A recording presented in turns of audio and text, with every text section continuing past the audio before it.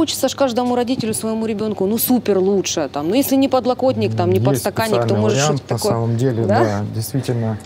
Э, Производитель Рикара, Рикара на сегодняшний день предлагает такую, как одну из опций в своем кресле, это легкую, легкое прослушивание музыки. То есть вы Вау. можете подключить сюда плеер, включить ребенку любимую его музыку и в таком приятном, скажем так, приятной громкости, то есть будет Мгм. ребенок там либо засыпать, либо просто слушать музыку.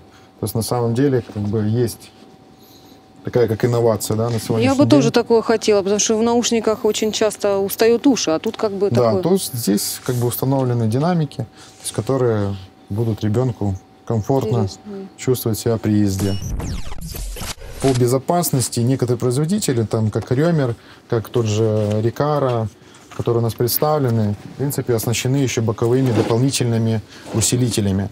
То есть они состоят в основном из пенопласта сверху, которые закрыты э, пластиком. Мгм. То есть они э, при краш-тестах то есть показали, что вот эти вот э, боковые части при боковом ударе очень хорошо поглощают ну, само усилие удара. После ДТП, то есть если, не дай бог, конечно, такое произошло, то есть больше вероятность, что это кресло лучше выдержит удар, чем такое кресло без боковых поддержек.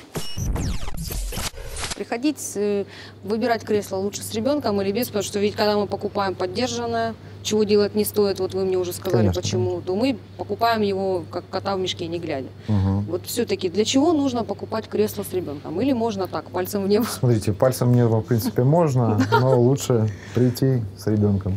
Хорошо. Э, Смотрите, то есть в чем как бы основная критерия, то есть как э, мы понимаем, да, у, у ребенка формируется как цветовая гамма, так и его внешнее восприятие кресла. Некоторые дети даже бывает пугаются этого кресла, категорически говорят Да, нет, а садишь да, его, садишь дело, да. ребенка в другое кресло, ребенок себя чувствует сразу же комфортно, сразу ему нравится цвет, он сразу начинает его щупать везде. То есть и при этом как бы лучше выбирать детское автокресло, естественно, с ребенком. Да, дать ему все-таки право выбора. Для Да, детей это важно. Насчет люлек. Вот смотрите, мы с вами проговорили, что не, нежелательно спать ребенку в лежачем положении. Когда он, а если вот совсем малыш маленький, люльки, Для автолюльки? таких, для таких э, малышей то есть используется группа так называемая нулевка. 0, 0 плюс. У вас бывают То есть у такие нас тоже, бывают да, такие автокресла, то есть они э, используются в основном против хода движения, то есть разворачивается ребенок, Ага. потому что у него голова, соответственно, при рождении тяжелее, Тяжелее, чем да. туловище. И, соответственно, чтобы не, прови- не повредить ребенку там, то есть шейные ну, э, позвонки, то есть и Мгм. все остальное, потому что они только фо- формируются.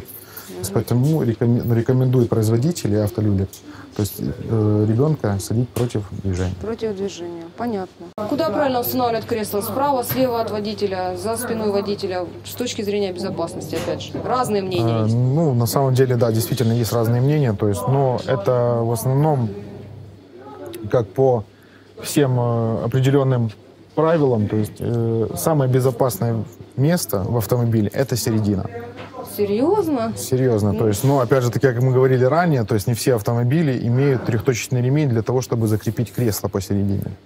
У меня муж с мамой Здесь- поссорился из-за этого. Он доказывал ей, есть, но что если за, мы, за э, водителем. ну, это все-таки в процентном соотношении, то есть это на самом деле, ну, немножко, но в принципе, как, как справа, так и слева, то есть можно использовать кресло, то есть, ну, как бы это все предельно нормально, то есть не надо бояться, то есть э, вообще по статистике каждый водитель, то есть ведет себя по-разному при ДТП. При то есть. ДТП, да. То есть он в основном то есть, считается как бы самым безопасным местом. То есть это как и левая сторона, то есть он может повернуть влево, уходить от Да, ДТП. да. Так же самое и вправо. И То есть вправо. здесь так определить, как бы, какая точка безопасная, то есть определились на том, что есть середина.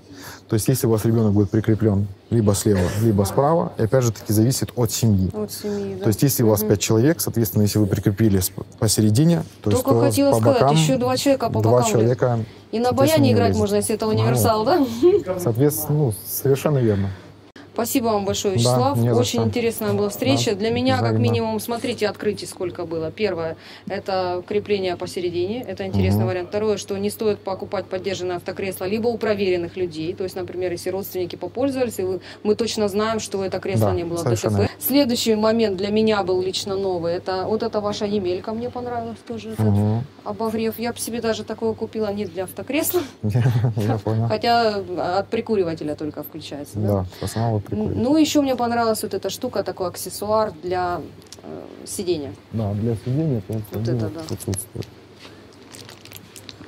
Кроме того, я узнала, что такое бустеры. Честно говоря, Ну, сама не знала. Это мне в комментариях совершенно верно. накидали. Кстати, видите, насколько полезны ваши комментарии. Не забывайте оставлять их под этим видео в том числе. Я надеюсь, что это видео было для вас полезным. Вячеслав ответил на многие вопросы. Если у вас какие-то еще остались, пишите, будем отвечать. Да, задавайте, Да. будет интересно. Спасибо.